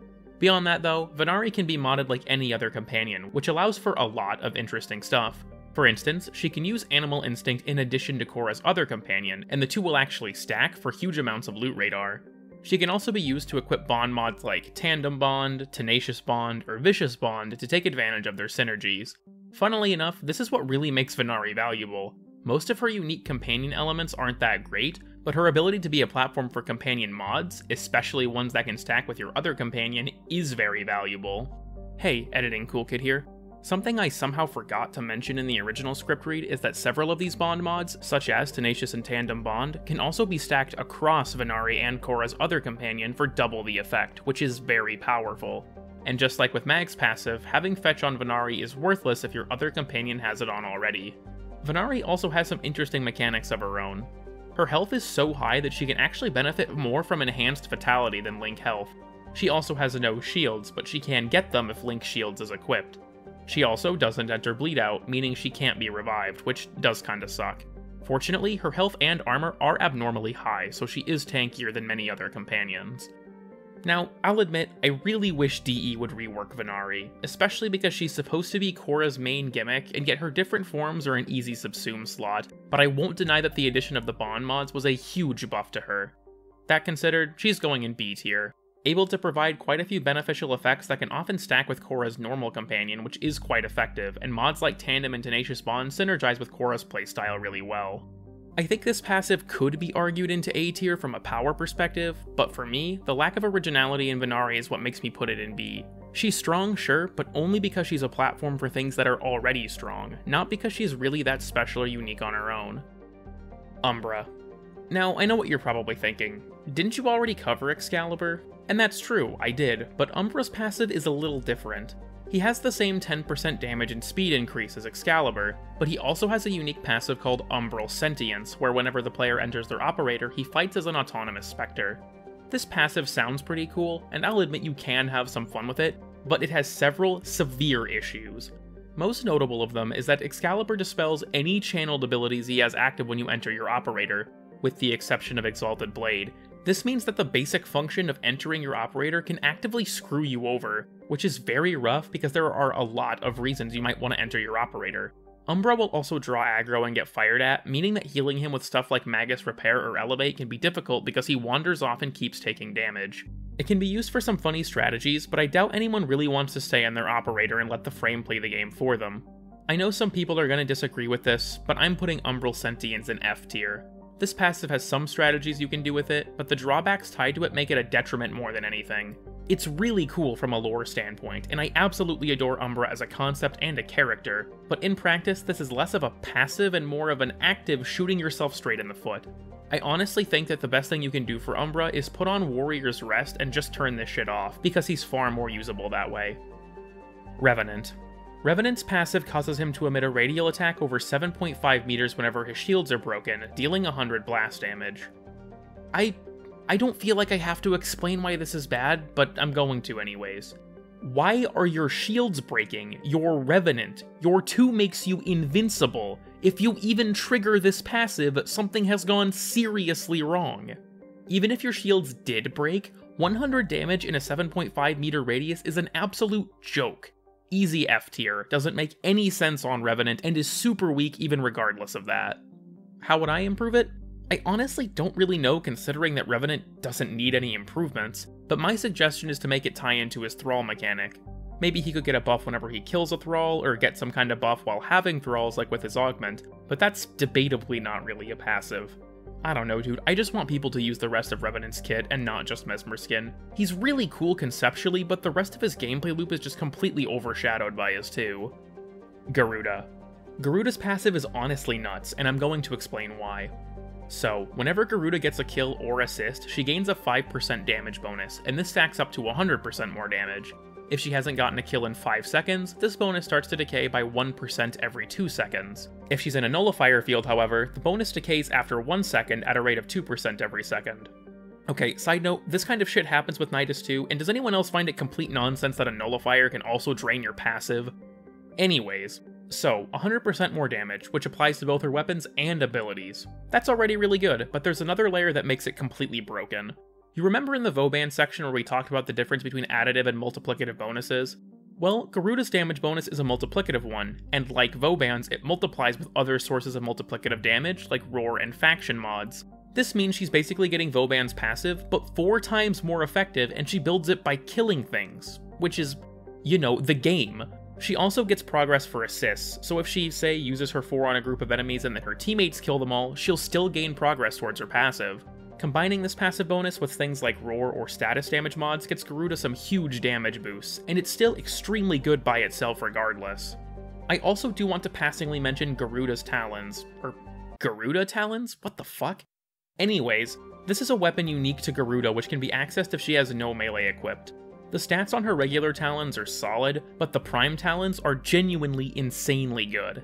High slash weighting at 85%, 35% critical chance, 36% status chance, and unlike typical Exalted weapons, the Talons can use mods like Blood Rush, Weeping Wounds, and Amalgam Organ Shatter. It doesn't increase in damage with power strength, which kinda sucks, but it's honestly so powerful statistically that I don't even think that matters. One last thing, Garuda gets 125% more energy at rank 30 instead of the normal 50%, so she has the highest energy pool in the entire game. As you can see, there's a lot going for this Warframe in the passive department, which makes her the easiest S tier of this entire video. Multiplicative damage that multiplies with other multiplicative sources that you earn just for playing the game, on top of a huge energy pool and an incredibly good melee, not a hard choice. I honestly considered making an S plus tier specifically for this passive, it is that good. Baruuk. Baruuk's passive grants him a unique resource called Restraint, which weirdly enough starts as a full meter and grants benefits for removing it. Restraint is removed by Baruuk's first three abilities, and to explain how specifically, dodging an attack with Elude removes 1.2% from the meter, every enemy put to sleep with Lull removes 0.8%, and disarming an enemy with Desolate Hands removes 1.6%. The lower the restraint meter is, the more damage reduction Baruuk gets, up to 50% when it's completely empty. Baruuk's fourth ability, Serene Storm, restores restraint instead of using energy, meaning that Baruuk trades that damage reduction to access his very powerful Exalted weapon, though he can still reduce his restraint using the above methods while his Exalted is active. I'm not going to focus on the ultimate being tied to the passive that much, as I feel like that's more giving credit to the ability, but it is noteworthy that this meter is what grants Baruuk access to it. On top of that, it creates this interesting dynamic of using energy and using the meter separately, so Baruuk kind of has to juggle two resources. The 50% damage reduction is pretty nice all things considered, but I think it shines on Baruuk because he has several other sources of damage reduction, namely up to 90% from Desolate Hands and 40% while Desert Wind is equipped. Because of all this damage reduction, Baruuk becomes quite difficult to kill up to fairly high levels, which, when combined with his crowd control, makes him quite tanky. So I'm going to put this passive in B tier, an easy to access damage reduction that stacks with Baruuk's other sources of damage reduction on top of allowing him access to Desert Wind, which is very strong. The only thing keeping it from going any higher for me is that Baruuk is incentivized to regain restraint by using Serene Storm, and he still has so many other sources of damage reduction that it's definitely not required. Still, it's a useful effect he gets just for using his abilities. Hildryn. Hildryn has a pretty complex passive, so this is going to be a bit tricky. Fundamentally, Hildryn has no energy, and instead uses her enormous shield capacity to use her abilities. Because of this lack of energy, she gains an additional 500 shields and 100 health from her rank up bonuses. Mods that affect efficiency instead reduce the amount of shields consumed, and energy orbs grant her 25 shields while also immediately resetting her shield recharge delay. Beyond that, Hildryn has the longest shield gate in the entire game at 3.5 seconds, and overshields block damage that would normally go directly to her health, like Toxin procs or Combat Discipline. This passive in isolation is already pretty solid, but it's made even better by the fact that Hildryn's Pillage grants her ludicrous amounts of shields and overshields at the press of a button, meaning that she's both very hard to kill and has near limitless energy. This lets her spam her own abilities very often, and beyond that, she can also spam the hell out of Helminth abilities because they're also made to consume her shields. Overshield's blocking toxin damage also effectively removes her biggest weakness so long as you have overshields. Basically, this passive makes her much more survivable because of her colossal shield pool and lengthy shield gate, on top of having the overshield defense layer, and it lets her spam her own abilities or any Helminth abilities she has on.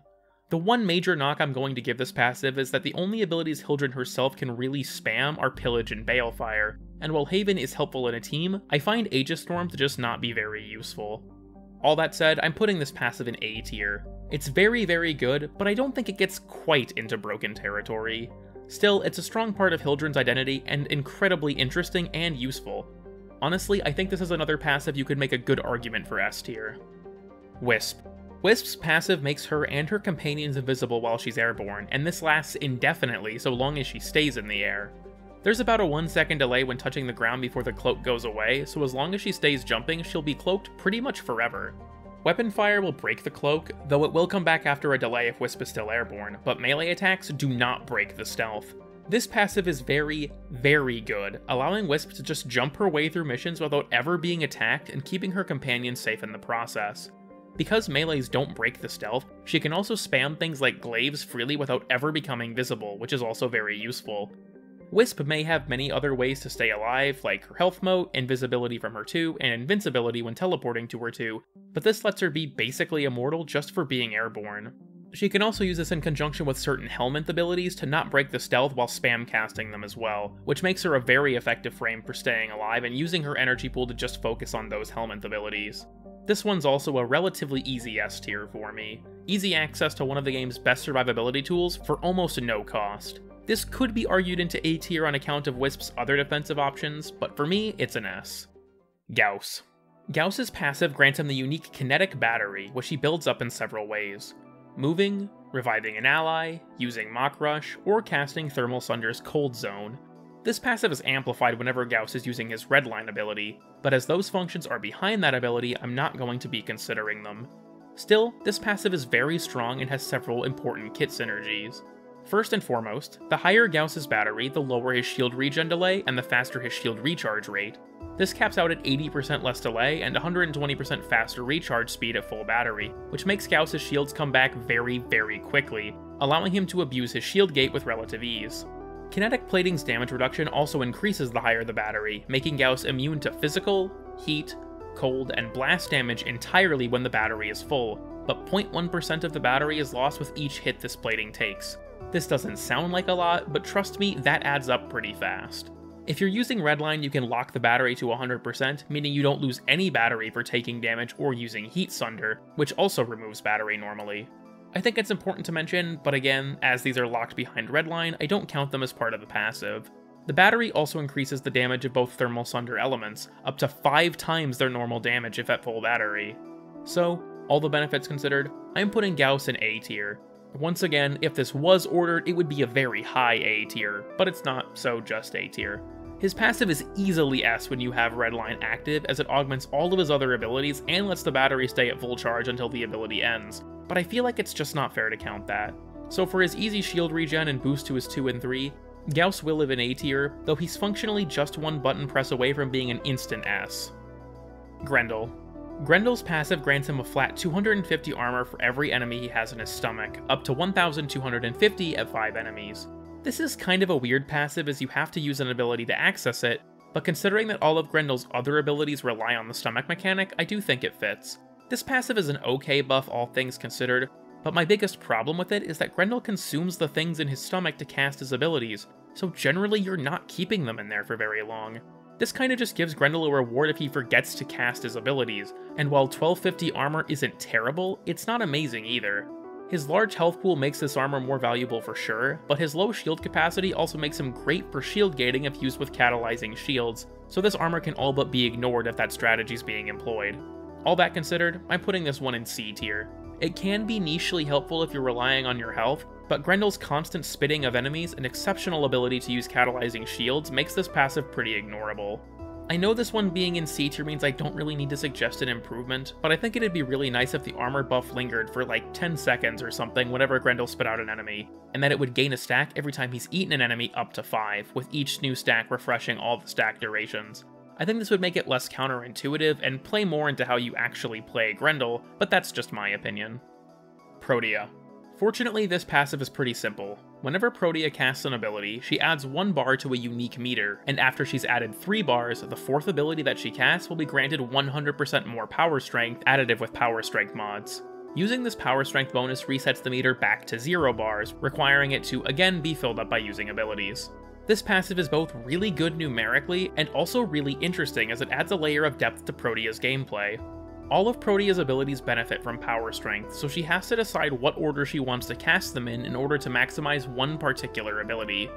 To make it clear, power strength effects, grenade fan shrapnel damage and shield regeneration rate, blaze artillery's damage, dispensary's chance to drop an extra item, and temporal anchor's damage conversion. This is especially interesting when adding Protea's temporal erosion and artillery augments into the mix, as Protea can choose to use this bonus to either increase the armor strip of temporal erosion, or boost the damage of temporal artillery as it caps out at a 20 times damage multiplier. This bonus also applies to any abilities subsumed on via the Helminth, which opens up a world of interesting choices. For example, you can use it to empower Roar, which boosts the damage of Blaze Artillery and double dips on its heat procs. This is just one example, but I'm sure you get the idea.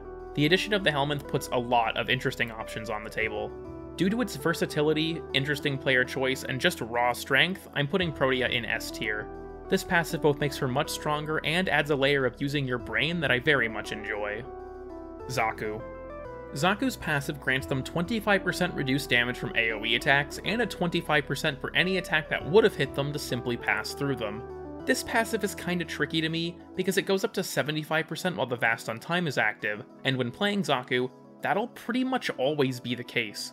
Thing is, I've already established that if passives get better when you use a certain ability, I think it's only fair to count the passive without that ability, and that leaves this one in a pretty bad spot. The 25% DR and dodge chance aren't honestly that helpful because they're such low numbers, and because the dodge is a mechanic separate from evasion, the two can't stack. I know a lot of people will be upset with me for this, but I'm going to put this passive in D tier on account of it being so weak by itself. However, when the Vast Untime is active, that 75% dodge chance and Explosion DR is quite helpful, and I'd put that somewhere in like B tier. Because I consider that a function of the ability though, it's gonna live in D tier on this list, but know that in practice, it is typically much better.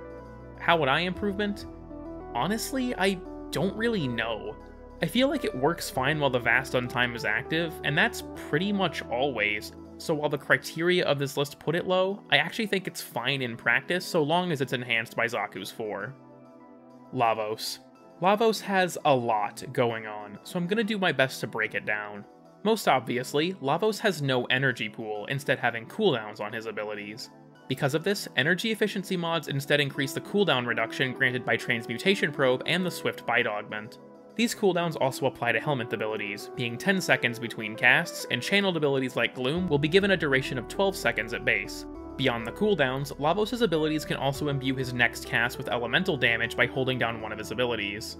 Ophidian Bite grants Toxin, Vile Rush grants Cold, Transmutation Probe grants Electric, and Catalyze grants Heat.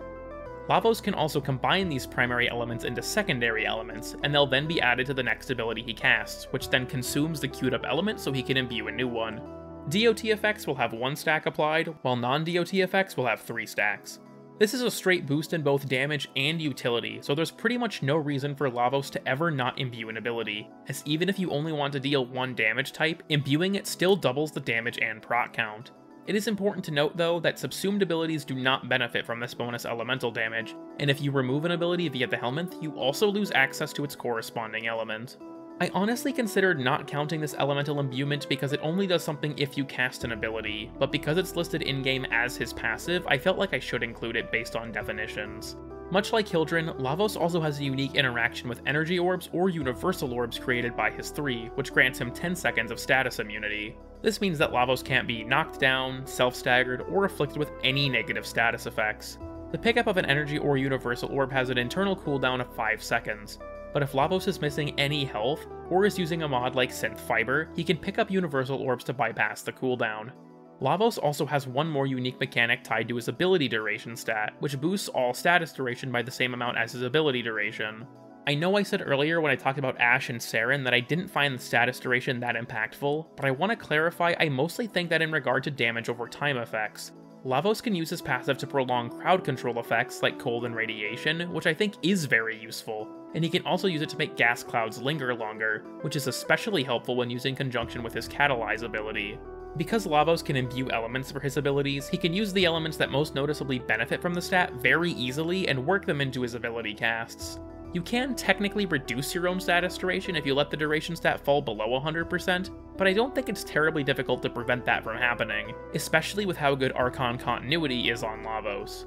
Now, I think the status immunity for energy orbs, elemental imbuement, and increased status duration all speak for themselves as useful effects. The cooldown thing, though, is very subject to how the user feels. Personally, I absolutely love it. I think it makes Lavos a very interesting frame to play and gives him a fun depth by making you think about when and how you use your abilities, which, on top of his elemental imbuement, makes him very rewarding when you execute things well. I know several people hate this mechanic, and I think that's a fair opinion, but I love it and think Lavos is more fun for having it.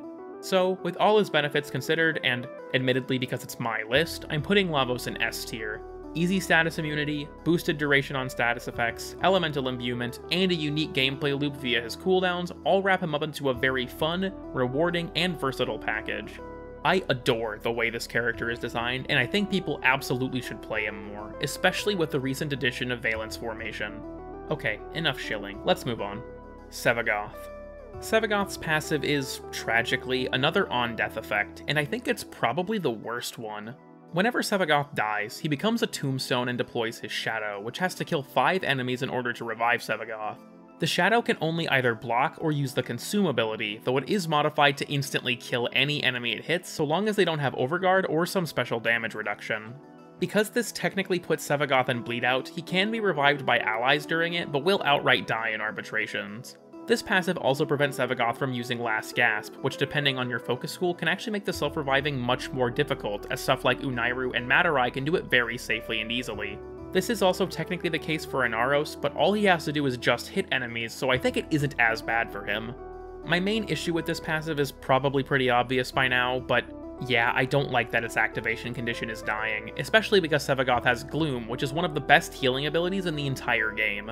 What baffles me about this beyond just being tied to Sevagoth dying is that Sevagoth does have a meter that could easily be used for a passive, that being the Deathwell.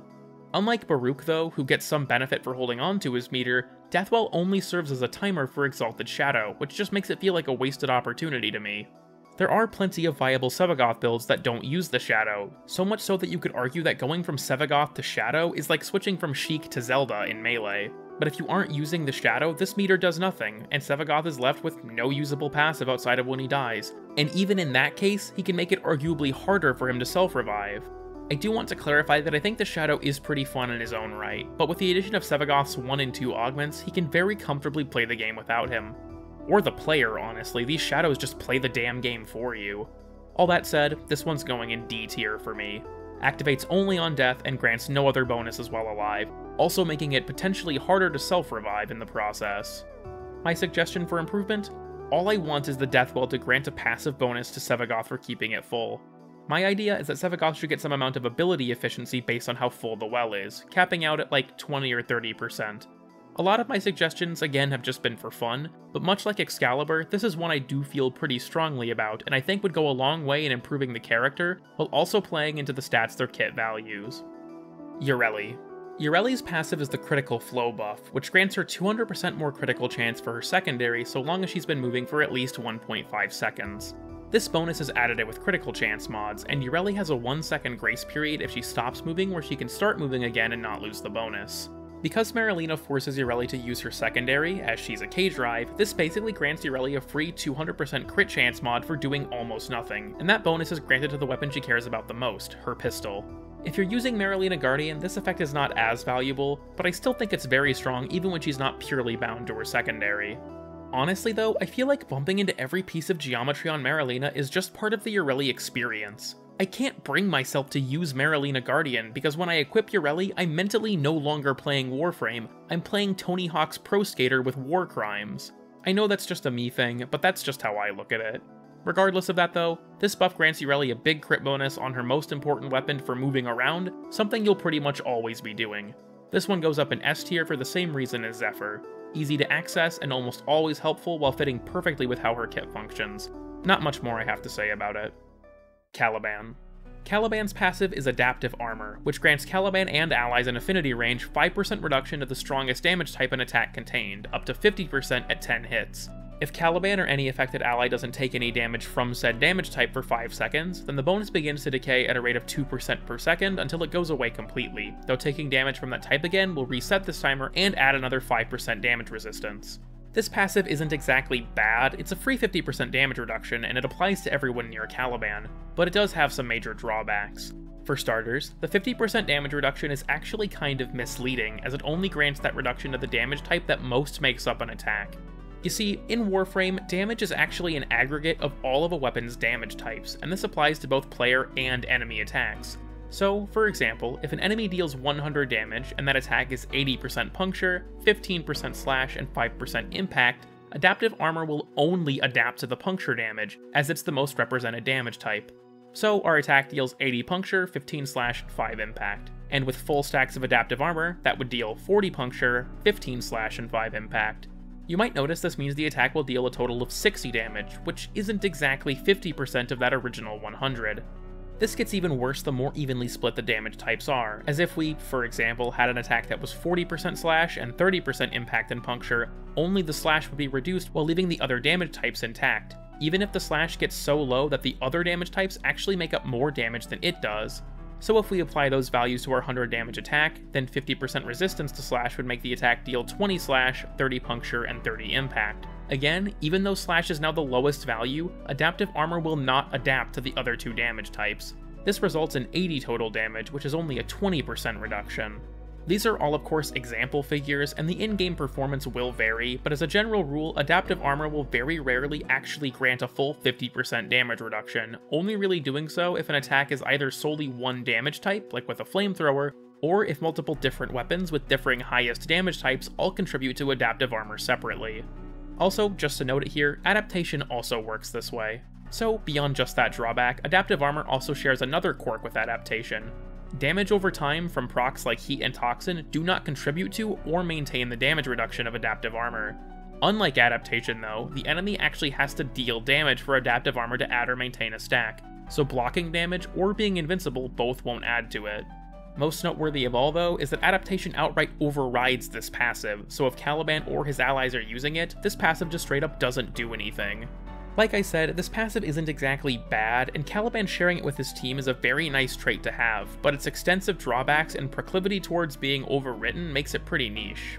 As such, I'm putting it in C tier, though this absolutely may change if DE makes any adjustments with Caliban's upcoming rework. If such does happen, check the pinned comments for my updated thoughts.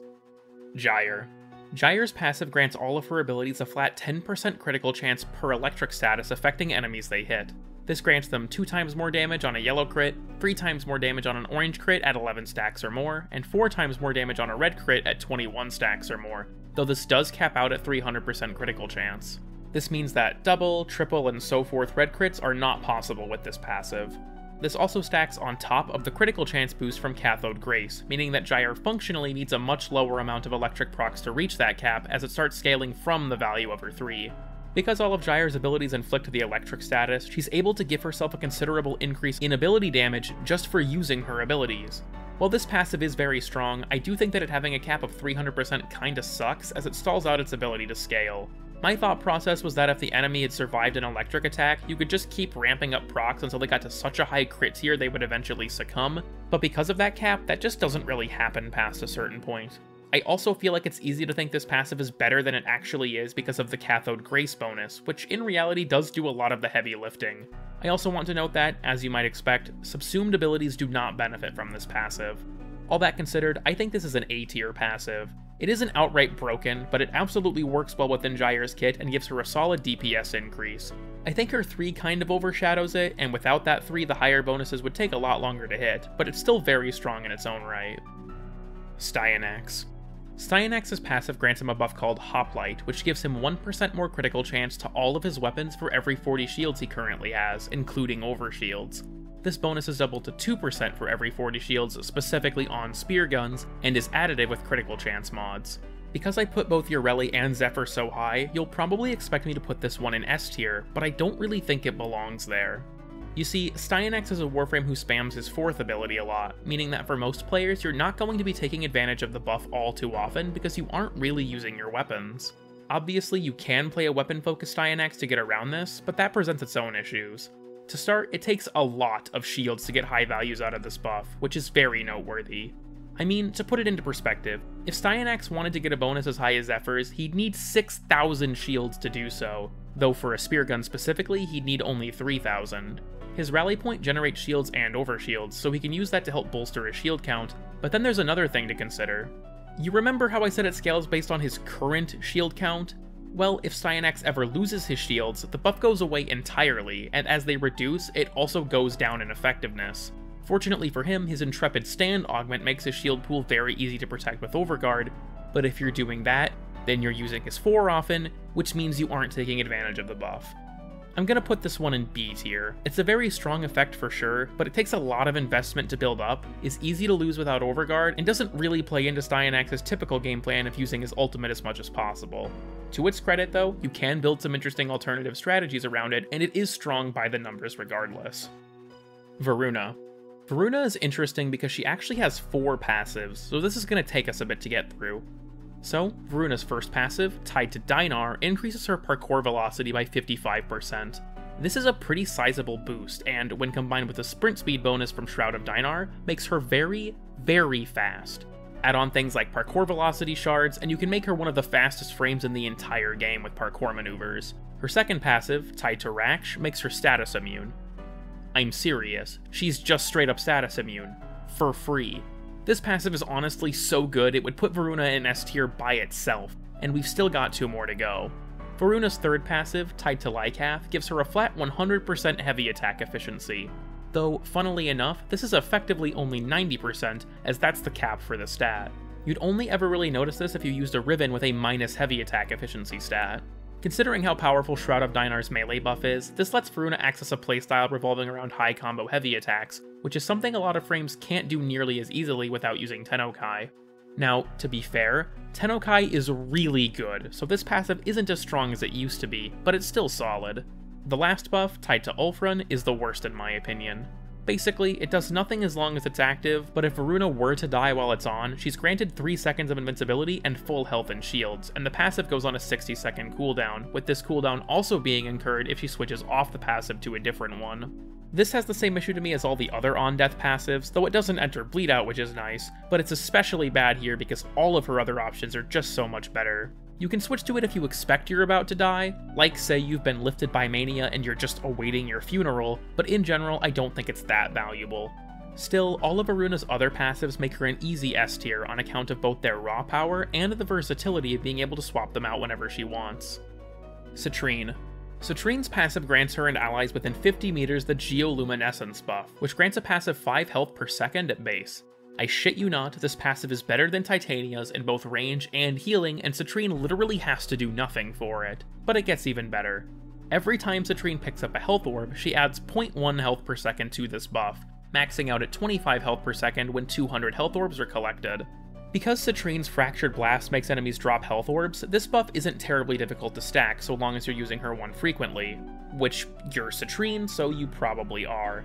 I also want to note that the 50 meter range on this buff is the same as affinity sharing range, but it doesn't actually use affinity sharing range as its own range, so things like Phosphors and Vazarin won't boost the range of the buff. It's 50 meters flat, and that's it, though that is still a decent distance. Now, if I'm perfectly honest, even at the full 25 health per second, this buff isn't anything insane by itself. With how much damage you can take in Warframe, healing buffs often have to be north of 100 health per second to be able to reliably keep you from dying, unless you have a lot of armor. So while the 25 health per second is free, it's not enough to save you on its own. But that's the thing, it's not saving you on its own, and that's because of Citrine's second ability, Preserving Shell. Because Preserving Shell reduces the damage that Citrine and allies take by up to 90%, the 25 health per second is a lot more impactful, because you're not actually losing nearly as much health each time you get hit, which makes the passive buff much more effective in practice. Weird thing I want to note about this though, Preserving Shell also has a 50 meter range, but that actually is affected by affinity range boosts, which is kinda unintuitive. I do want to point out, in the name of fairness, that Citrine's ability to print health orbs with her 1 makes her passive less useful, which, again, as a Citrine, you're probably using her 1 a lot. Thing is, you can't really control your teammates, and it's not uncommon that they won't be paying you a visit and grabbing those orbs, so having a way to sustain them without any effort is nice, especially in conjunction with that damage reduction. All that said, this one's going in A tier. Not broken, but works well in the context of the kit and is over 6 times more effective than Titania's passive. Damn, dude, that's rough. Stalker. This one will probably surprise a lot of people, but yes, Stalker actually has a passive, and even more interestingly, it's insanely good. So, whenever Stalker attacks an enemy who's unaware of him, he gains 300% more critical chance against that enemy. This unawareness counts if the enemy is unalerted, or much more accessibly, if Stalker is invisible, which he can do with this smokescreen. This 300% is additive with critical chance mods, and affects not only Stalker's weapons, but also his abilities. You see, normally whenever you cast Stalker's ultimate, Punishment, it breaks his stealth. Funny thing is, you can just recast the invisibility during the cast, which actually allows the punishment projectiles to crit. This is really cool, though it kind of feels unintentional, but yellow number equals more dopamine, so I'll take what I can get. For the same reasons as Zephyr and Yareli, Stalker's going in S tier. A huge crit bonus to everything simply for being invisible, which Stalker is going to be doing constantly anyways. Now, this is kind of a side tangent, but the biggest thing holding Stalker back is honestly the fact that we can't mod him. I mean, look at this. Why the fuck are you using Umbral Vitality and Fiber? You have an Invis, why would things be damaging you? Same thing for Arcane Grace here. When would you be triggering this?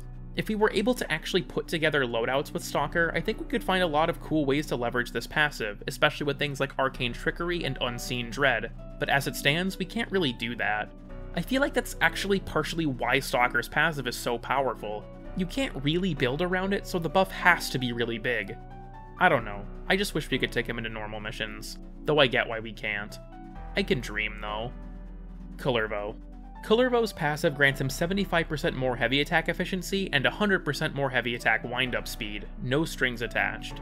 Similarly to Voruna's Lycath passive, this passive is kind of overshadowed by the addition of Tennokai, but I think that the way Kullervo's entire kit works makes it much better in practice than it is on Voruna. Kullervo's whole kit revolves around building combo to spread and deal huge damage, and this passive enables that playstyle. This one is really made amazing by the kit surrounding it, because Kullervo is able to do full combo heavy attack builds way more easily than anybody else. Because Recompense and Storm of Ukko contribute to the combo counter, and Chained Enemies with Collective Curse also add to the counter, Kullervo can rack up combo insanely fast. He can then use his first ability, Wrathful Advance, to use that combo for huge damage. Because his passive grants a 75% boost in efficiency though, you're able to spam this with very little punishment, and in combination with his fast combo gain, he's able to use full combo heavies with a massive crit chance boost incredibly liberally. You can do Tennokai builds for full combo heavies, sure, but Kullervo can spam them without any light attack setup or randomness in their activation, which is super valuable. I think you can validly argue this one goes in A, but because of how pivotal it is to Kullervo's kit, I'm putting it in S. It suits what Kullervo wants to do perfectly and makes him the best at it, bar none.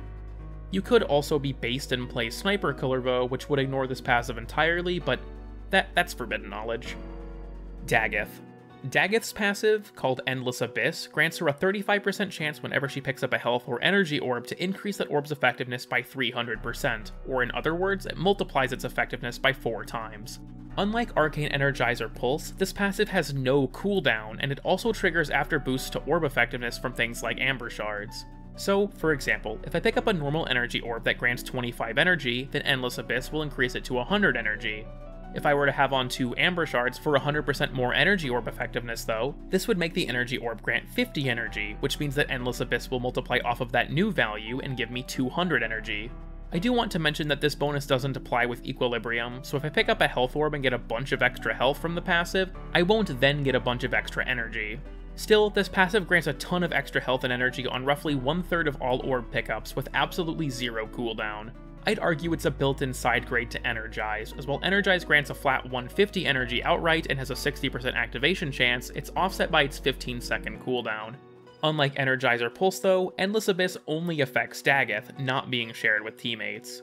So this passive is essentially a built-in side grade to probably the best Warframe Arcane in the entire game. This is especially useful on Dagath specifically because she's a caster frame, meaning she's going to be using her abilities a lot, so the extra energy is extremely useful. The health component is less impactful in my own experience, but Dagath is pretty fragile, so it definitely helps at least a bit. All told, this one is another S tier if you ask me. It's a no cooldown, 4 times orb effectiveness modifier on a 35% chance, on a character who can print health orbs no less. Very, very good, unless you're using Equilibrium or Purple Shards, in which case it's just okay, but that's not the point. Qorvex. Qorvex's passive, called Core Exposure, grants him 3 meters of punch through to his primary and secondary weapons, as well as certain melees like Gunblades and his ultimate, Crucible Blast. This passive is really interesting because, while it doesn't really play into a laser-focused Qorvex playstyle that much, it does allow Qorvex to explore an alternate gun-focused playstyle. This 3 meters of punch through makes him very good at using weapons that are normally single target, especially when used with his containment wall, which lines up enemies and makes them more vulnerable to damage, even armor stripping them if wrecking wall is used. If you're using an AoE weapon, focusing on ability kills, or using a weapon with infinite body punch through, this passive doesn't really do that much, but if you choose to play around it, it gives Qorvex a very unique and fun alternative playstyle. This is especially good for secondary weapons, which don't really have any easy access to punch through, letting weapons like Piranha Prime, for example, tear through groups of enemies even more effectively than before. So, this passive is going in C tier. This may seem kind of low, but I want to make it clear I don't think this passive is bad at all. It's a cool and creative way to play Qorvex, but by my own tier list definitions, I think it belongs in C tier, especially because it doesn't really come into play at all if using certain weapons or focusing on Crucible Blast. Hey, Editing Cool Kid here again. I know I've kinda already finished this section, but I wanted to step in and clarify something I didn't really explain that well. I know several of you are probably confused that I said this passive doesn't really mesh with a beam-focused Qorvex, considering a huge part of that playstyle is hitting multiple enemies with the beam. So doesn't this passive then enable that playstyle? That's a totally fair assertion, but weirdly enough, it's not actually accurate. You see, Qorvex's Crucible Blast actually has infinite body punch through, which is a somewhat rare mechanic where a projectile can pierce an infinite number of enemies, but no terrain. Felarx and Alternox are both good demonstrations of this mechanic. Because of that fact, all the passive really does for Crucible Blast is let it shoot through up to 3 meters of terrain. This is honestly really cool, but it isn't that practical all things considered. You can normally see the enemies you're shooting at with the laser, and even if you can't, it's not uncommon for them to die to the chain reaction explosions anyways. Really neat and honestly really fun if you know it exists, it's just not that practical. Okay, I hope that clears that up. Let's get back on track. Dante. Dante's passive grants him a buff known as Chronicler's Mark, where he gains 50% more status chance against all enemies that he has fully scanned into the Codex, with this bonus being additive with mods. This passive is kinda weird to me because I feel like it's a weird combination of both decent and unimpressive, and I'm going to try to articulate why. On the one hand, this passive's boost in status chance plays into Dante's goals. He inflicts a lot of status effects with Noctua, his birds increase status chance and damage, and Tragedy helps him leverage the DOT effects he inflicts, at the same time though, 50% isn't really all that much, and his birds do grant a sizable bonus by themselves. Some people will also probably find the Codex requirement annoying, but as Noctua scans enemies it kills into the Codex, I find it's really not that big of a deal.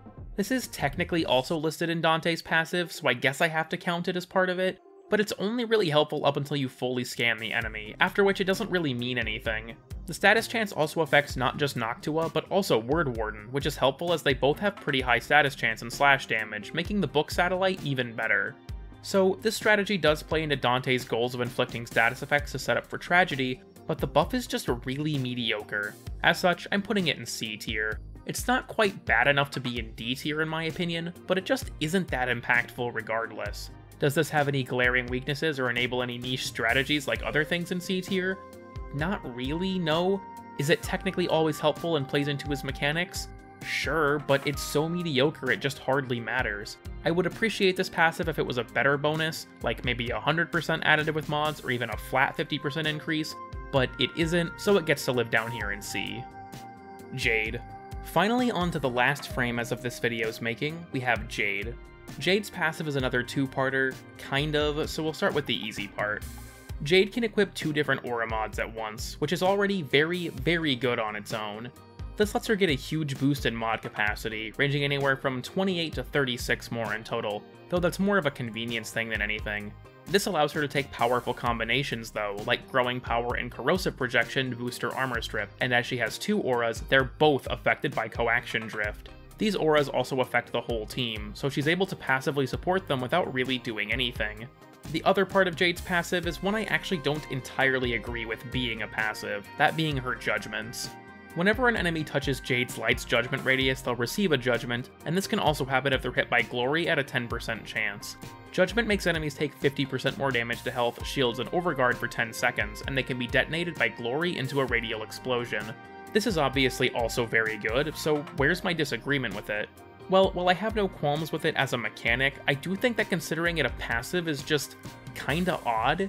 Like, she has to use one of those two abilities in order to actually trigger it, so I don't really feel like it's much of a passive effect. If she could inflict it at a 10% chance on any hit, not just Glory, I feel like it'd make more sense to call it a passive. I know some people might call me hypocritical for this because Grendel's passive is also accessed through an ability, but because his stomach is a central mechanic to his kit, I feel like it makes more sense to have a buff tied to it.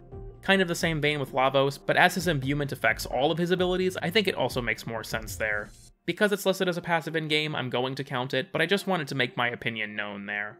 So, where do we place our final Warframe for this video? Well, I'm putting it right up in S tier with the best of the best. Her passive provides double the effortless support to her allies, and while I do have my issues with calling Judgments part of her passive, they are undeniably a very powerful boost in damage while also giving her access to her Glory nuke. If I wasn't counting the Judgments, I'd probably put this in A tier, but because the game counts them, it's going in S. Alright, we finally made it to the end of the video. If you're still watching, feel free to comment chalky chair to let me know that you've made it this far. I know I'm recycling this from Weird Obscure Season 1, but my goal is to see if anybody will actually get the extremely niche reference, so I'm recasting the net. Also, if you're watching this in the future where Jade isn't the most recent Warframe, do keep an eye on the pinned comment. I'm going to be updating it over time as new frames get added and old ones get reworked to try and keep things up to date. So if you want my thoughts on Koumei or Cyte-09 or whoever else might be out right now, take a look down there. While we're on the topic of comments, do feel free to let me know your thoughts on this list and what you'd change about it, as well as any passive reworks you'd give to the frames in the lower tiers. I've left a tier maker in the description if you want to make your own, and I'll do my best to keep it updated as new frames are added as well. Again, I ask that you be civil, this is just people sharing their thoughts about a video game, and it's really not that serious. Okay, with all that out of the way, I gotta do my shilling any percent run. So, like, comment, subscribe, join the Discord, watch the streams, and send termites to your local town hall. Huge thank you to all of my members for supporting the channel, I appreciate you all very very much, and a huge thanks to you for watching. I hope you've learned a thing or two, and I'll see you all again next time with my next small project that ends up taking me a month to make.